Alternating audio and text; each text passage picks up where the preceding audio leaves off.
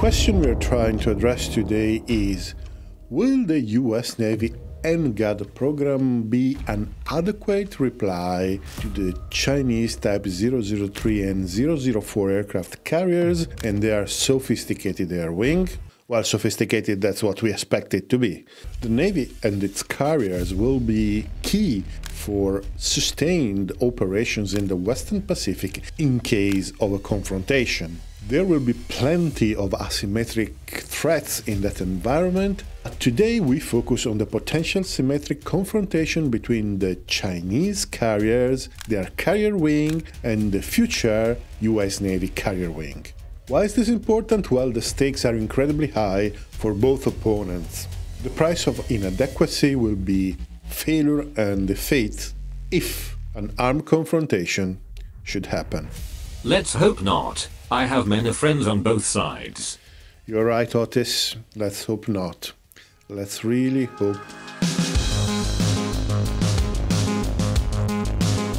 The necessary caveat is that we know very little about the Navy and NGAD, which is at an even earlier stage than the Air Force and NGAD. But if you follow the channel, you know that the progress of the Chinese is not much more advanced. I'm trying to piece together what little information is available and I'm using some analysts' consideration as a starting point. But this video is going to be a speculative one. The NGAD program is a family of systems that should fly from the decks of US carriers and amphibian ships in the third decade of this century. The main component is the F/A-XX, a piloted platform that is going to replace the F-18EF. The other components are a series of unmanned platforms that are going to cover various roles. The MQ-25, the tanker drone that is entering service now, is just the first of these platforms albeit is not formally part of the NGAD program. There will be ISR platforms, electronic warfare, uh, AWACS,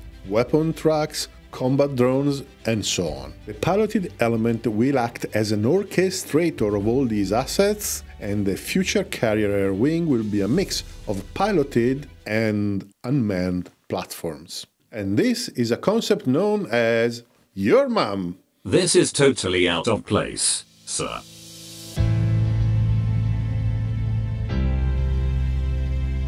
Well, MUM comes into play with the concept of MUM-T, manned and unmanned teaming. This is the possibility to combine the manned and unmanned uh, platform operations and do it seamlessly. Algorithms have improved substantially in the last 10 years, and the so called artificial intelligence will have a big part in it. However, artificial intelligence is not ready to become the loyal wingman that is so often mentioned in the news.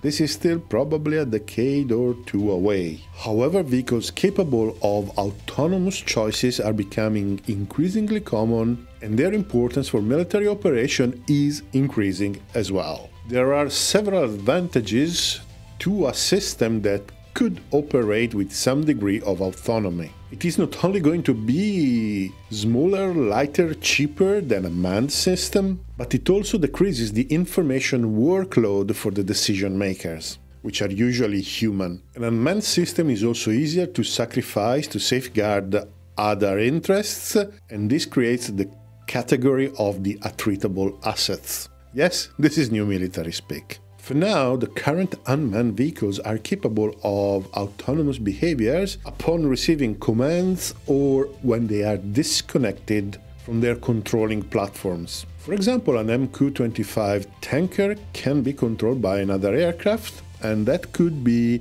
an E2D Hawkeye because the management is basically limited to identifying where the tanker orbit is going to be. After that, the tanker will operate autonomously, refueling the customers uh, with no human intervention. However, the aircraft can evade a threat if it is notified of its existence or it can decide to come back to the carrier when communications are cut or at the end of the mission. Combat vehicles are also expected to be capable of deciding if it is the case to keep executing the missions or returning to base in case the communications are cut, they are discovered, or they are attacked. The flip side of this approach in an air combat environment is that the pilot of the manned component is going to be more a manager than a pilot. The aircraft must fly itself while the pilot is doing other stuff like using the sensors or managing the other elements of the mix. But artificial intelligence, as it is now, will have a huge impact on military operations.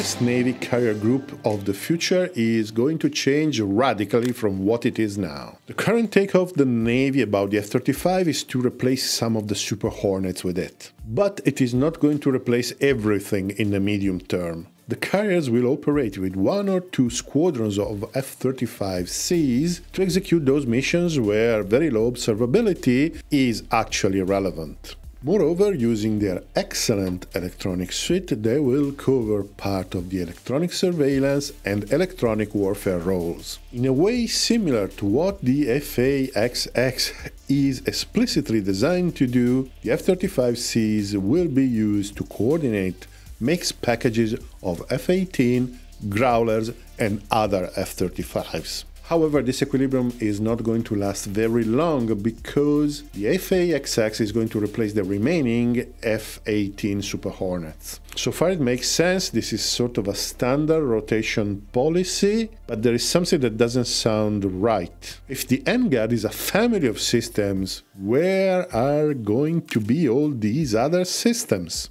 Where are they going to be housed on the carrier? From the sources I could access, it also seems that this condition of equilibrium between F-35 and FA-XX is going to be temporary. In fact, the carrier wing of the future is expected to be 60% piloted and 40% unmanned and this proportion should gradually reverse to become 40 and 60. This is a condition that will be probably reached by the 50s of this century with the progressive decommissioning of the F 35. Considering that unmanned vehicles are going to be smaller than manned ones, we can expect to have a carrier wing composed by 20 25 piloted assets and 30 40 unmanned vehicles plus the usual panoply of support aircraft. When I read this for the first time, some elements actually clicked together, but probably I'm going ahead of me. The next question is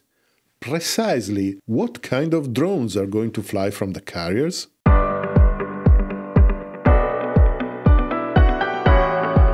MQ-25 is entering service as a tanker, but it is doubtful that the same airframe could be adapted to become a combat capable. Despite being a moderately low observability aircraft, its long and straight wing is clearly optimized for efficiency at subsonic speed and loitering. It doesn't look suited for speed and maneuvering. The intake at the top of the fuselage is in the worst place for air combat maneuvers or any kind of abrupt maneuver in general. One possibility, though uh, maybe an intermediate possibility, is an AWACS variant of the aircraft. The current package on board of the E2 is definitely too large and too power hungry to be transferred to the MQ-25, but smaller solutions already exist, like those in use with helicopters. So while the MQ-25 is a valuable addition to the carrier wing, it's probably not decisive. I was among those puzzled when I saw the Navy shelving the X-47B after demonstrating excellent capabilities. However, it seems to me that this hesitancy has been abandoned by the Navy because the NGAD program explicitly mentions the presence of UCAVs together with piloted aircraft. So what are these UCAVs going to be? Since the configuration of the NGAD program is still being designed uh, together with the FA-XX, we still don't have the specifications, we can only speculate about these systems. To me, it seems reasonable to consider two variants. A weapon truck, or a combat variant if you want, and an ISR slash electronic warfare platform. They will be built on a single airframe much more similar to the X 47 than to the MQ-25. The reason being these aircraft will have to performance comparable with the piloted aircraft. It seems reasonable that the weapon carrier will have a modern multifunction radar, but it will likely rely heavily on passive electronic support measures and infrared sensors. And it will be capable of using fire solutions provided by other elements of the mix. For stealth reasons, it will necessarily feature a weapon bay, but it will be capable of a respectable external payload. It will need to be refueled in flight, and in this case, will be interesting to see a drone refueling another drone. It probably won't have the same exact performance of the FA-XX, but it surely needs to be capable of cruising with it. So, for example, is the FA-XX will be capable of super cruising, which is likely, so will be the drone. The ISR and electronic warfare variant is probably going to be a bit more complex. Yes, because one of the problems on a small airframe could be power generation. A modern radar like the APG-81 can be used for discovery and even for jamming up to a point, but it requires quite a lot of power. If the aircraft will also feature dedicated jammers, then it will need to have some form of electrical power generation other than the engine. But these requirements will collide with the necessity of remaining stealth, so probably integral antennas and smart skins will be extensively used. Like the weapons truck, it should be capable of cruising with the FA-XX, and it should also be capable of carrying a limited number of weapons for self-defense. Both UCAVs will be capable of some autonomous decisions in case they remain isolated. We may also expect some level of tactical intelligence, for example, the capability of prioritizing the menaces and the order of their engagement. In these algorithms, there will be the strength and the weakness of the system. There is no doubt that they will be extremely efficient, but a human can access the general situation much better and act accordingly. Autonomous decisions are hardly going to have the same level of insight that a human may have. What is certain though is that networking all the sensors together is the necessary prerequisite to fully use all the effectiveness of this approach. So, secure and reliable data links with high bandwidth will be a must. But this is probably the area where less progress is needed because the Navy and other services have already developed various waveforms and data links with an adequate bandwidth and an adequate resilience. As I said, this is a speculation video and this kind of picture seems feasible to me. But now it's time to speak about the FA-XX.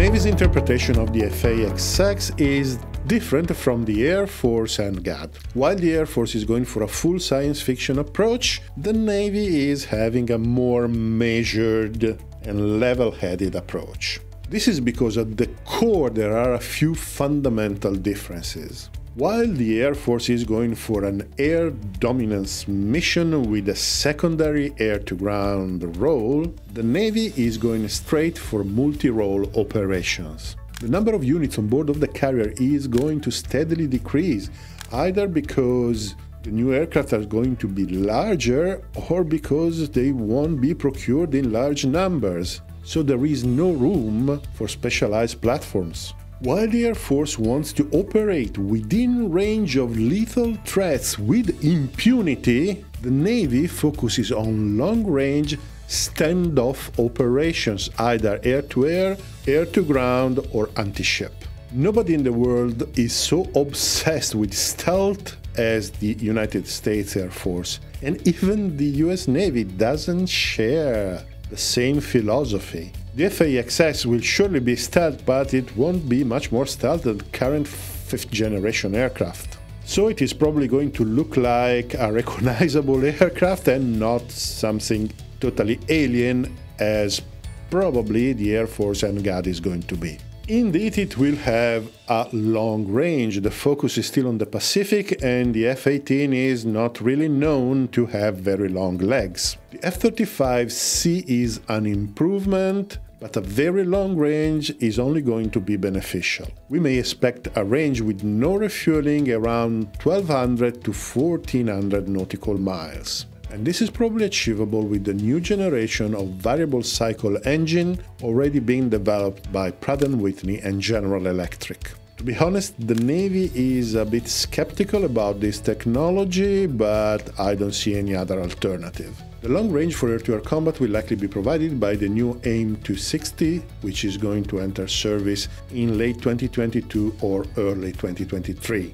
It will have the same form factor as an AMRAAM, but it will have a longer range. There are other long-range air-to-air weapons in development, uh, but we know almost nothing about those. The Q to these weapons will require a powerful radar of the class of an improved APG-81 uh, or something more similar to the British-Italian MFRS the, the radar that is being prepared for the Tempest. However, we may expect that passive sensors are going to become more and more critical. An advanced DAS or an advanced IRST are probably going to be developed. Direct energy weapons will still probably be out of reach but systems that do fry the optical sensors of incoming missiles already exist, so we may expect that those will be used. It is easy to speculate that the LRASM missile will be the main weapon for anti ship roles. The aircraft base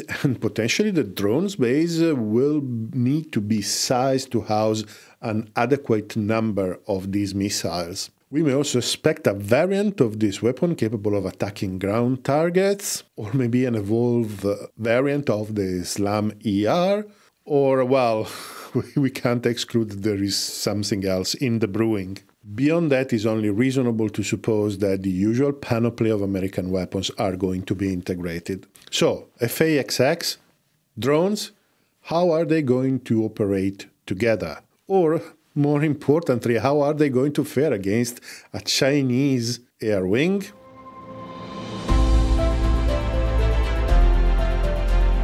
We have already dedicated various videos to the Chinese Type 003 and potential 004, and this video is already long enough, so I invite you to go and watch those videos, link above and below. So if we watch from a distance the two carrier wings, well, their structure and mission, let's say in the late 30s, is probably going to be not that different. It will include fifth generation piloted aircraft and an established presence of UCAVs. From the point of view of the UCAVs, it seems that China is slightly ahead of the US now because the GJ 11 is already in operational service. A naval version hasn't been seen yet, but the Chinese are definitely porting the technology to the carriers and potentially smaller vessels. It seems that the aircraft now is less sophisticated than the drones we have just speculated about, but the platform is there, is working, it is operational while the United States only have some prototypes. The main problem of the GJ-11 in this context is that the aircraft is subsonic, so it may not be suited to accompany the other manned aircraft in all their missions. In terms of piloted aircraft, the Chinese wing will probably be a mix of J-35s and a naval version of J-20. Both these platforms will likely suffer a generational gap with the FAXX. However, they will probably have the advantage of not requiring a long unrefueled range because they will be operating closer to their bases and closer to ground based assets. Furthermore, it is only expected that the Chinese are going to quickly develop and release new variants of these aircrafts because that's what they always do. For example, the Chinese are really investing a lot on AESA radars. In the air-to-air domain, the Chinese today are ahead with the PL-12 and the PL-15. This gap should be recovered by the AIM 260, which actually was designed exactly because there was this inferiority. The Chinese have several options for the anti ship mission, but none with the LRASM features. But as usual, considering the speed at which the Chinese are churning out new weapons, we may expect that something like that is going to appear soon.